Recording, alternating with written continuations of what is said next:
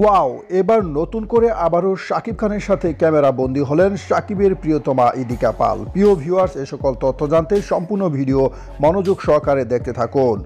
মহামান্য রাষ্ট্রপতি শাহাবুদ্দিন চুপু এর জন্মদিনের অনুষ্ঠানে তাদেরকে একসাথে আবারও দেখা যায় এবং সেখানে আরও উপস্থিত ছিলেন শাকিব খানের আপকামিং সিনেমা রাজকুমারের জনপ্রিয় নায়িকা কোটলি কফি। ও পরিচালক হিমেল আশরাফ, জনপ্রিয় শিল্পীরা। তার সাথে শাকিব খান, ইদিকা পাল ও আশরাফ আদনানের সাথে ক্যামেরাবন্দী হন জনপ্রিয় কণ্ঠশিল্পী কোনান। তিনি তার ফেসবুক পেজে এমন একটি ছবি পোস্ট করেন যার রীতিমতো সোশ্যাল মিডিয়ায় বেশ ভাইরাল।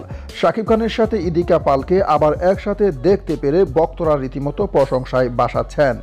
অনেকে আবার বলা বলি করছেন শাকিব খানের পরবর্তী সিনেমায় নায়িকা হিসেবে ইদিকাকে দেখতে চাই। এ নিয়ে সাংবাদিকরা ইদিকাকে প্রশ্ন করলে তিনি বলেন, যদি আবারও দর্শকরা চায় আমাদের একসাথে, তাহলে আবার নতুন সিনেমায় কাজ করতে পারি।